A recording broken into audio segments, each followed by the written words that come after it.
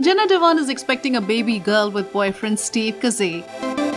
The flirty dancing host's first daughter Everly, who she shares with ex-husband Channing Tatum, is too excited for her little sister.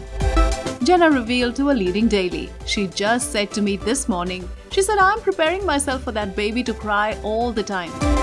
She further revealed it was so adult of her, and she asked me if the baby cried in the night, she could get out of her bed and go sing the baby a song. So she's already preparing herself and she's excited. She's old enough to understand that she's going to have responsibilities and she is a big sister.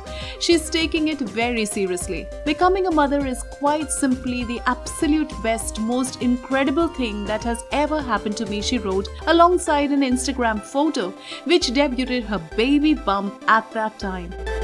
Jenna recently sent a heartwarming tweet to boyfriend Steve saying, Steve, you are a gift from above, and I couldn't be more excited to be expanding our family together. Thank you guys for all the love.